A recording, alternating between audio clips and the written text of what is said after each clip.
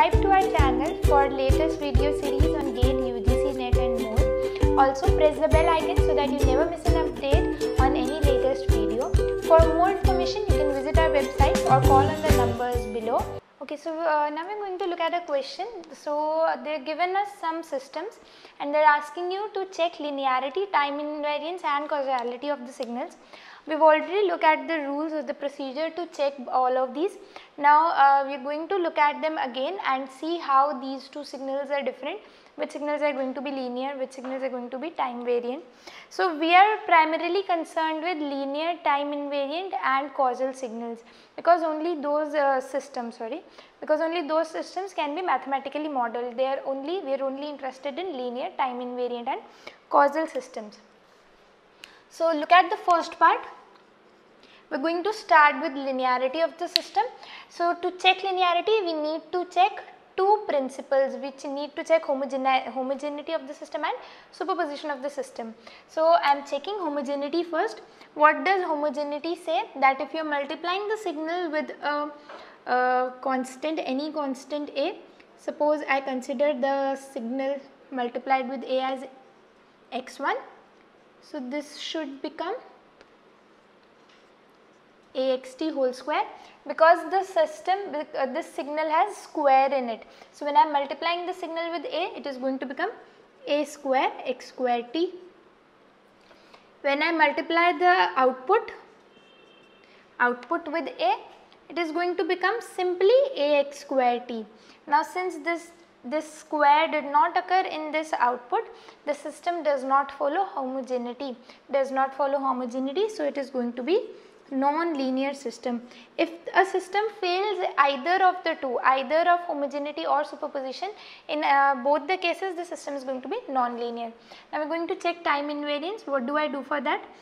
Uh, so, again I am considering the time shifted input as x1t which is going to be x square of t minus t naught. y1t is going to be y of t minus t naught which means replacing this argument with t naught which becomes again x square t minus t naught. Since both of them are same the system is going to be time invariant. Time invariant. Uh, now checking causality of the system is very easy since the system uh, depends on values of present only, only on t values, present values. So the system is going to be causal, causal. So the given system is non-linear, time invariant and causal system, right? Non-linear, time invariant and causal system. Okay. Look at the next example now. So this is the procedure basically which we are going to follow for all the examples okay to check the linearity, time invariance and causality.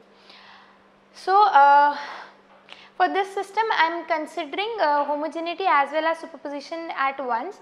So what do I do in x1 I multiply this signal so this is going to become e to the power axt. I am considering one more signal which would be aa2 x2t okay this is x1 dash x2 dash. Now if I consider their input combinedly if I just uh, try to apply them at once the output is going to be okay the output should be the output for them should become ea1 x1t plus ea2 x2t this should be the output yt now if I apply ax1t plus ax2t here combinedly the output is going to be y1 dash t or whatever you say.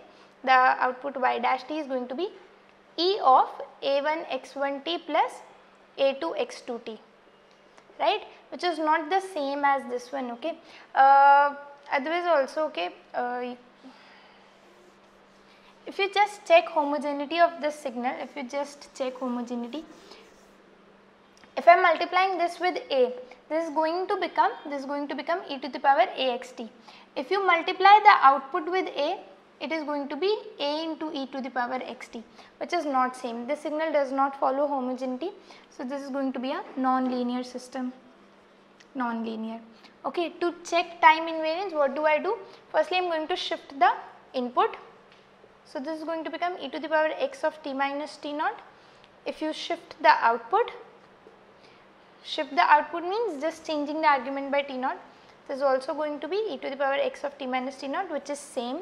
So, this system is time invariant, time invariant. Also since it depends on t values only, present values only, signal is going to be causal, causal, right. Look at the next part. So, I am checking homogeneity first. If I just multiply the input with A, this is going to become AT into XT. Now, if you multiply the output with A, again it is going to be AT XT. Now, if I uh, want to check superposition, what do I do? I take one more input, okay. Uh, I consider one more input x2t which would be 18 to x2t. So, this is I am taking as x1, right. This is x1 dash, x2 dash. Now, their combined output must be when I am applying them combinedly, their output is going to be t into see this is the signal only okay we can replace this uh, with the corresponding signal. So, it is going to be ax1t plus ax2t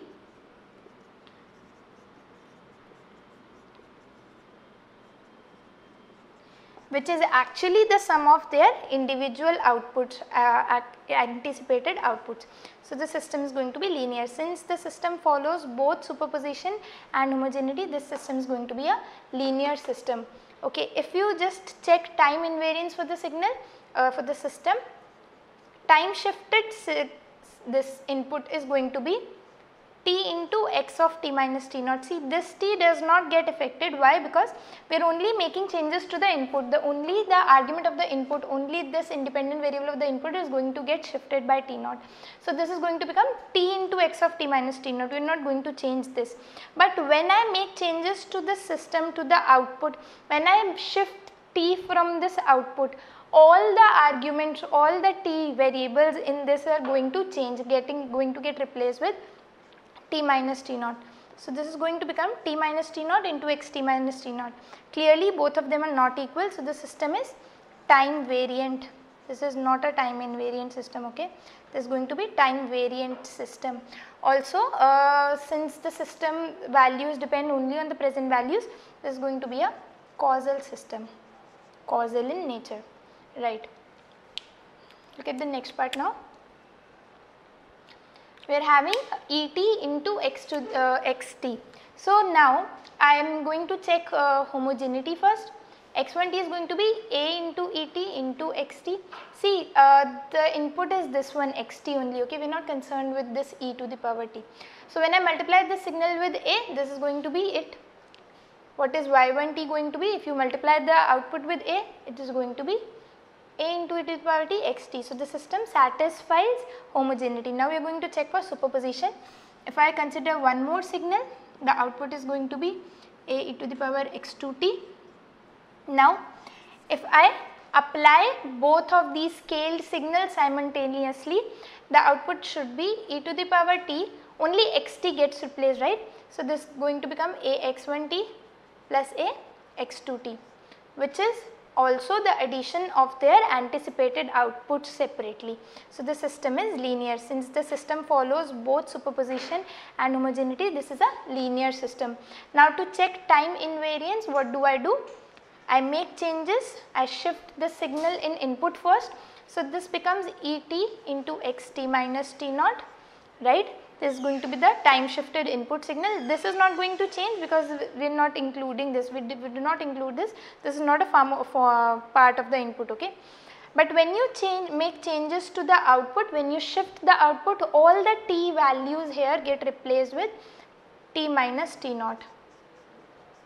Since both of them are not same this is going to be a time variant system, time variant and also causal because depends on only present values of t causal system. So, this is also going to be a linear time variant and a causal system. Okay. Now, look at the next part. So, we are given with real part of xt, we are considering real part of xt. So, we are going to check the homogeneity of the uh, this signal first x1t. See, uh, I am multiplying uh, this x1 this signal input signal with a constant a. So, this is going to become real part of axt fine. If I multiply the same constant with this uh, output in the output it is going to become a of real part of xt.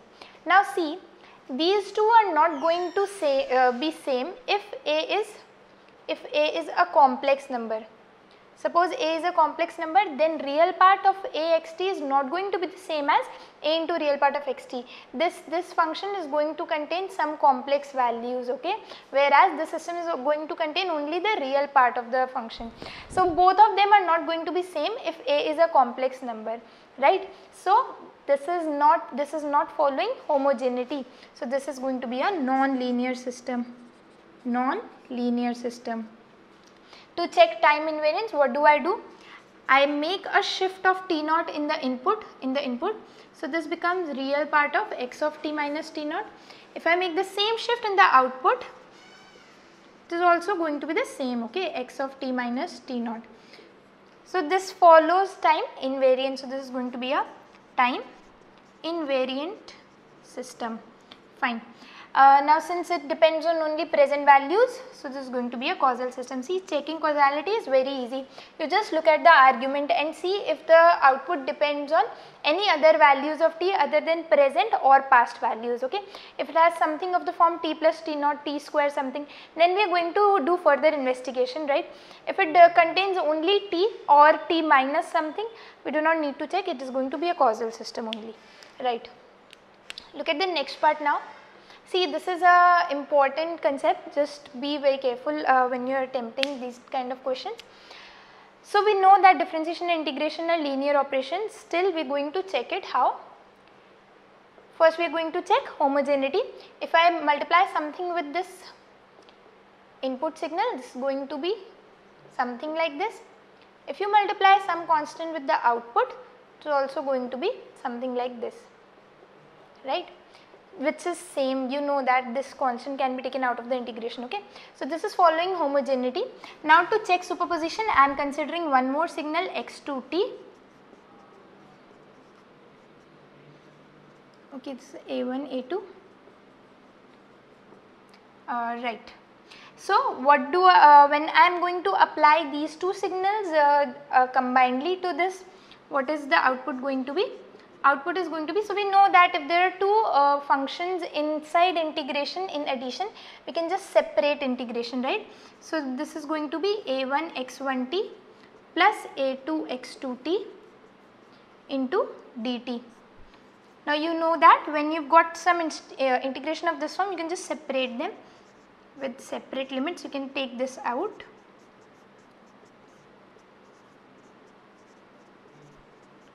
right you can just perform this kind of operation which means which is which is also the uh, addition of their individual outputs. So, this system is going to be linear linear.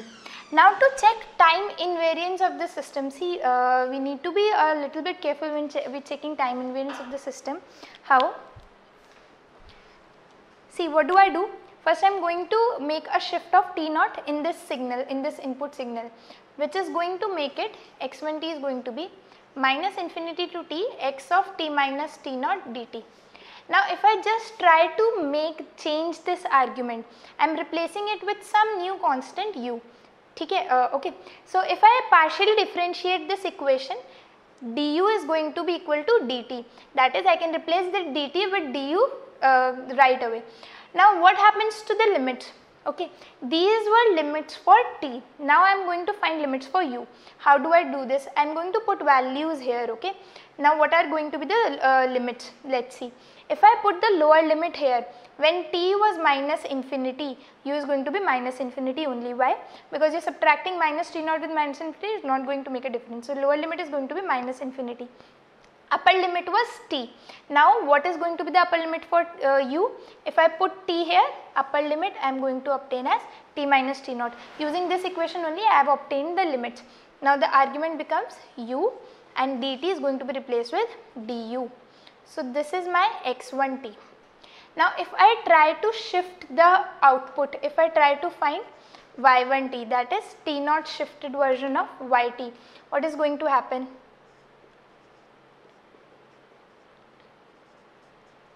Yes right. Why did they we did not make a change here? See actually the function here this yt the system here is integral okay? We are performing integration. We're not concerned with this input operation okay? See why am i saying this is if i just write this yt as minus infinity to t xu du or some xv dv this is also the same thing okay this this argument is not affecting our operation we write written this as uh, yt because we have limits from minus infinity to 2 this is not depending on the argument of the function okay? This is not dependent on the argument of the independent function. This is dependent on this limit only. We are having t here because the limits were from minus infinity to t. So when we are going to make a change to the argument of yt argument of the output if we are going to shift it only limits are going to be affected. Argument of the input function are not going to be affected okay because this function is equally valid writing this as this one is equally valid. Now if I ask you what is yt minus t naught is going to be you cannot make changes to u here right you are going to make changes only to the upper limit this is what I have done here. Now these both of them are equal right these are equal. So this function is going to be this system is going to be time invariant yes integration is a see now this integration is time invariant because this is integration from minus infinity to t although this kind of integration is not going to be time invariant okay we are going to look at it right. So this this for now is going to be time invariant and since this depends only on past values of t we are taking values only from minus infinity to t from uh, to uh, for till uh, the present value of t. So, this is going to be a causal system. Is not depending on any future values, right. So, this one is an uh, important one you can just keep in mind this integral is a linear time invariant system. Okay. Now, look at this one. So, uh, since this integration was linear this is also an integration just limits are different. So, it is going to be linear we do not need to check it again. Now, we are going to look at its time invariance. See uh, if I make changes to okay if I just make shift in the function this is going to become x of t minus t naught dt. I am uh, performing the same kind of operation I am replacing it with t. So, du is going to become dt lower limit is going to be lower limit is going to be if I place here minus 10 this is going to be minus 10 minus t naught upper limit is going to be 10 minus t naught. So, x1 t is going to become minus 10 minus t naught to 10 minus t naught xu du. If I perform a shifting operation in the output, now see this does not depend on the input okay this is a definite integral this is a, a, fixed integration of the signal. So you cannot make shift here if you just shift this operation this does not depend here. So it's going to be the same okay minus 10 to 10 x of t dt or x of u du. Now see since the limits of the integration are different these two are not same this is going to be a time variant system. Okay, so integration is not going to be time invariant all the time it depends on the limits okay this one is going to be time variant this one was time invariant though. Now this is also a non-causal system why because it is depending on t values up till 10 from minus 10 up till 10. So this is a non-causal system it may depend on t values which are which are occurring in future. Uh, now look at the last part. yt is equal to x80.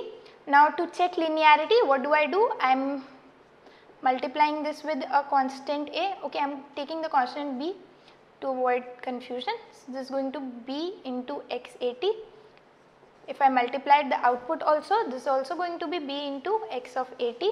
To check superposition I am considering one more signal x2t is going to be b2 x280. If I just apply both of them together yt is going to be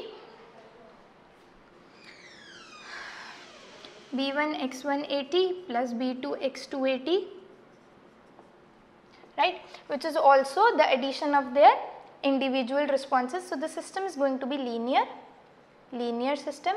Now, to check uh, time invariance what do I do? Firstly, I am going to shift this signal uh, by T naught. When I am shifting the signal by T naught what happens is only a shift of t naught occurs independently okay this is going to be x of at minus t naught we are not making changes we have discussed this before also okay changes happen only inside the argument not to the complete argument. You are not going to have a into t minus t naught. You are going to have at minus t naught.